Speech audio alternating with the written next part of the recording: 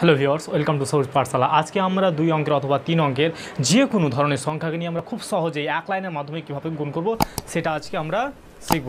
তো চলো বন্ধুরা, বেশি কথা না বলে শেখা যাক আমাদের আজকের এই গুণফলটা।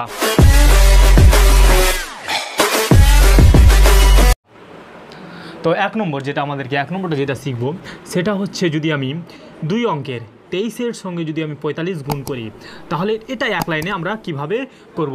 এই গুণটা করার জন্য আমাদের ছোট একটা নিয়ম শিখতে হবে, যেটা হচ্ছে একক ঘরের সংখ্যার সঙ্গে আমাদেরকে একক ঘরের সংখ্যা প্রথমে গুণ করতে হবে, তারপরে এই চারটা নিয়েই গুণ করতে হবে। চারটা নিয়ে, তারপরে একক ঘরে আর দশক ঘরে কোনার সঙ্গে কোনাকুনি গুণ করে যোগ করে আমরা বসিয়ে দেবো। তারপর লাস্ট যেটা থাকে দশক ঘরের সংখ্যা সেটা দশক ঘরের সংখ্যাকে আমরা গুণ করে বসিয়ে দেবো। তাহলে কীভাবে করব?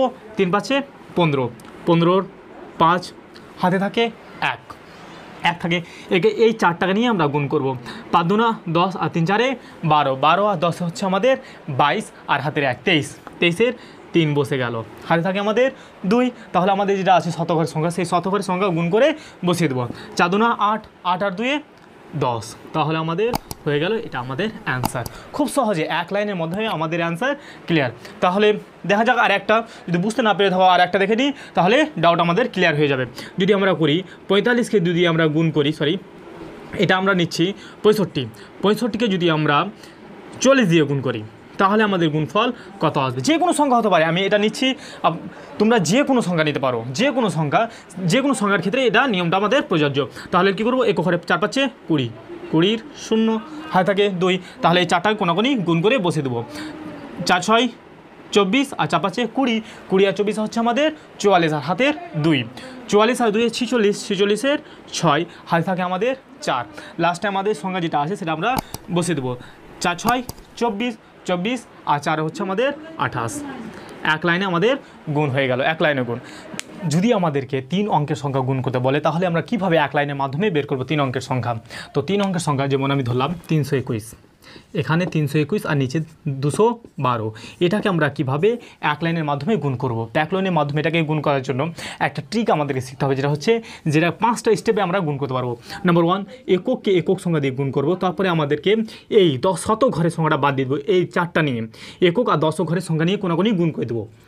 আমরা একক আর দশক ঘরের সংখ্যা নিয়ে কোনাকুনি গুণ করে যোগ করে বসে দেবো। তারপরে আমরা এই তিনটা সংখ্যাকে নিয়ে গুণ করে বসে দেবো। কীভাবে? যে একক দশক আর শতক। একক ঘরের সঙ্গে শতক ঘরের কোনাকুনি গুণ আর দশক ঘরের সংখ্যা আমরা গুণ করে বসে দেবো। এরপরে আছে আমাদের একক ঘরের সংখ্যাটা বাদ দিয়ে দেবো। একক ঘরের সংখ্যাটা বাদ দিয়ে দেবো। দশক ঘরে আর শতক ঘরের সংখ্যার কোনাকুনি গুণ করে আমরা বসিয়ে দেবো। এইভাবে।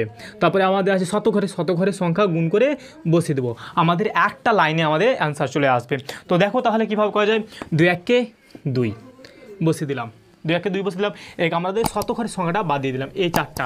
তো কীভাবে? এককে এক দিয়ে গুণ করলে একই হবে, আর দুকে দু দিয়ে গুণ করলে দুদুনা চার। এক আর চারে পাঁচ পাঁচ বসে গেল। আমাদের হাতে কিছুই থাকছে না। এক আমরা কি করব? যে তিনটাকে নিয়ে গুণ করব। কোনাকুনি। তিন দুনা ছ, দুই এককে দুই। ছয় আর দুয়ে আট আর দুই এককে দুই। দশ, দশের শূন্য। হাতে থাকে আমাদের এক। এক আমরা কি করব?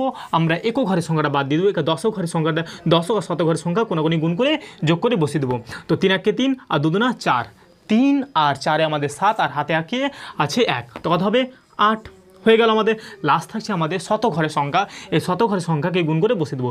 তিন দুনা ছ, আমাদের হাতে কিছু নেই, তাহলে আমাদের এক লাইনে অ্যান্সার হয়ে গেল। আশা করছি বুঝতে পেরেছ। যদি বুঝতে না পেরে থাকো, তাহলে তারপরে কোশ্চেনটা আমরা করব, তাহলে আমাদের ডাউট ক্লিয়ার হয়ে যাবে। চারশো পঁচিশ আর দুশো আঠাশ নিচ্ছি। এটাও যদি আমরা গুণ করি, কীভাবে একটা লাইনে গুণ করব? তো সেম প্রসেস যেভাবে করেছি, সেই সেমভাবে আমরা প্রসেস করে প্রসেস করে চলে যাব। তো কীভাবে? পাঁচ আটে চল্লিশ, চল্লিশের শূন্য। হাতে থাকে আমাদের চার। এই চার থাকে তাহলে আমরা শত ঘরের সংখ্যাটা বাদ দিয়ে দেবো কোনো কোনো গুণ করব। পাঁচ দুনা দশ আর দুনা ষোলো। দশ আর ষোলো হচ্ছে আমাদের, দশ আর ষোলো হচ্ছে আমাদের ছাব্বিশ। ছাব্বিশ আর হাত থাকে চার। ছাব্বিশ আর চার হচ্ছে আমাদের তিরিশ, তিরিশের শূন্য। হাত থাকে আমাদের তিন।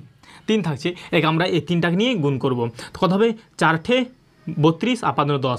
বত্রিশ আর দশ হচ্ছে আমাদের বিয়াল্লিশ আর দশ ঘরের। দুদুনা চার। চার বত্রিশ, বিয়াল্লিশ আর চারে হচ্ছে আমাদের ছিচল্লিশ। আর হাতে আমাদের তিন আছে। ছিচল্লিশ আর তিনে হচ্ছে আমাদের উনচল্লিশ, ছিচল্লিশ আর তিনে হচ্ছে আমাদের উনপঞ্চাশ উনপঞ্চাশের নয়, হাতে থাকে আমাদের চার। আমাদের চার, এক আমরা একক ঘরের সংখ্যাটা বাদ দিয়ে এই দুটাকে নিয়ে কোনাকুনি গুণ করব। চার দুনা আট, আর দুদুনা চার। আট আর চার হচ্ছে বারো, আর হাতে থাকে আমাদের চার। চার সরি বারো, আর চার হয়ে যাচ্ছে আমাদের ষোলো। ষোলোর ছয়, হাতে থাকে আমাদের, হাতে থাকে আমাদের এক। এবং আমরা শতঘরের সংখ্যাটা গুণ করে বসিয়ে দেবো। চার দুনা আট আর একে নয়।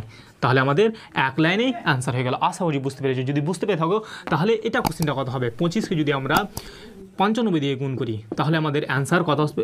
অ্যান্সার কত আসবে? যদি তিন অঙ্কের নিই, যে চারশো সাতাশকে যদি আমরা পাঁচশো বারো দিয়ে গুণ করি, তাহলে অ্যান্সার কত আসবে? অবশ্যই পারবে, যদি বুঝে, বুঝতে পারো তাহলে অবশ্যই পারবে, যদি পারো তাহলে নিজে কমেন্ট করে বলো যে এত হবে অ্যান্সার তাহলে আজকে ভিডিও এতটুকুই, দেখো সে নেক্সট ভিডিও